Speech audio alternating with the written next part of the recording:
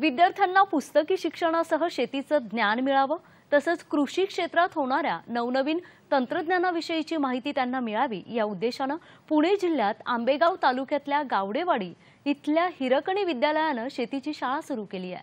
जाणून घेऊ द्या घेऊयात या अनोख्या शाळेबाबत. विद्यार्थ्यांना पुस्तकी शिक्षणासोबतच वेगवेगळ्या गोष्टीही करता याव्या यासाठी शाळेकडून विविध उपक्रम स्पर्धा भरवण्यात येतात.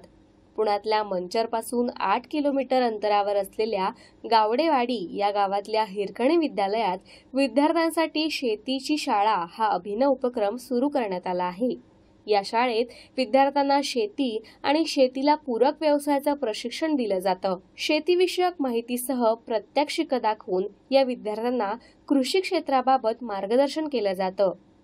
Future agriculture leaders of India अर्थात फाली ही संस्था या शाळेला यासाठी सहकार्य करते.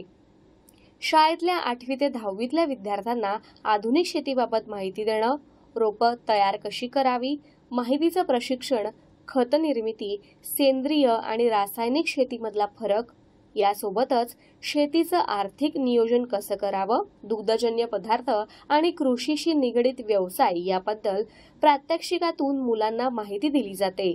मग फालीचा उद्देश हा आहे मुलांचा आणि पालकांचा दोघांचा जो शेतीकडे बघण्याचा दृष्टिकोन आहे तो चेंज करणं आणि फ्युचर जनरेशनसाठी शेती ही अट्रॅक्टिव्ह बनवणं. ह्याच्यासाठी फाली मध्ये जी शिकवण्याची पद्धत आहे त्यामध्ये तीन मेथडचा जास्त वापर केला जातो. पहिली ॲक्टिव्हिटी बेस्ड लर्निंग ह्या मुलांचा आठवी आणि नववीच्या मुलांना जे विषय शिकवला जातो त्याच्यामध्ये प्रत्येक सेशनला काही ना काहीतरी ऍक्टिव्हिटी जोडून आहे ज्याच्या थ्रू मुलांना इंटरेस्टिंग वाटेल ते. दुसरं मुलांची लिडरशिप ॲबिलिटी डेव्हलप होण्यासाठी वेगवेगळ्या प्रकारच्या कॉम्पिटिशन घेतात. त्यामध्ये पहिले येतं business plan competition innovation model competition आणि ज्या राष्ट्रीय स्तरावरच्या पण बाकीच्या कॉम्पिटिशनमध्ये आहे त्याच्यामध्ये पण पार्टिसिपेट करण्यासाठी फालीच्या मुलांना प्रोत्साहित केला जातं. ॲग्रिकल्चर म्हणजेच फाली हा विषय शिकवला जातो. तर फालीमध्ये आम्हाला बरंच काही शिकवलं जातं जे शेतीमध्ये जी रोपं वगैरे असतात त्याच्यावरती त्याला कोणती खतं त्याला कोणती खतं द्यावी. त्याच्यावर कधी कीड पडते ती कोणती त्याची नावं काय असं आम्हाला शिकवलं जातं.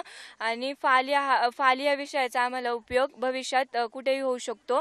आणि ह्याच्यामुळं आम्हाला म्हणजे फालीमध्ये आम्हाला जे शिकवतात ते आम्हाला खूप चांगल्या पद्धतीने ते समजतं. गावातल्या मुलांना शिक्षण देण्यासाठी त्यांना साक्षर करण्याकरता एकोणीसशे चौऱ्याण्णव साली गावकऱ्यांच्या सहकार्यानं श्री दत्त गुरु शिक्षक प्रसारक मंडळांतर्गत या हिरकणी विद्यालयाची स्थापना करण्यात आली होती. शाळेत शेतीच्या प्रात्यक्षिकांसह राष्ट्रीय कौशल्य विकास आराखड्याअंतर्गत इतर प्रात्यक्षिकही विद्यार्थ्यांकडून घेतली जातात. जे पारंपरिक शिक्षण आहे. त्या शिक्षण दिल्यानंतर मुलांची पुढच्या ह्याच्यात तेवढी प्रगती होताना दिसत नाही किंवा त्यांना आपण थोडंसं व्यावसायिक शिक्षण दिलं पाहिजे. या उद्देशाने मग आम्ही दोन हजार आठ साली आय बी टी हा उपक्रम चालू केला. आय बी टी म्हणजे inter introduction to basic technology त्याच्यामध्ये चार विभाग येतात अभियांत्रिकी शेती शेतीविषयक ग्रह आरोग्य आणि इलेक्ट्रिकल विषय. तर ह्या चार विभागांचं मुलांना शिक्षण दिलं जातं. आणि त्यानंतर दोन हजार चौदा साली फाली नावाचा एक उपक्रम आमच्याकडे शेतीविषयक तंत्रज्ञान त्याच्यामध्ये मुलांना त्याची गोडी लागावी. की शेती आज मुलांनी केली पाहिजे शेतीविषयी त्यांना ज्ञान मिळालं पाहिजे. त्या उद्देशाने मग आम्ही फाली हा उपक्रम सुद्धा सुरू केला. असं म्हणतात पंढरपेशी शिक्षण घेतलं की मुलं मातीपासून दूर जातात.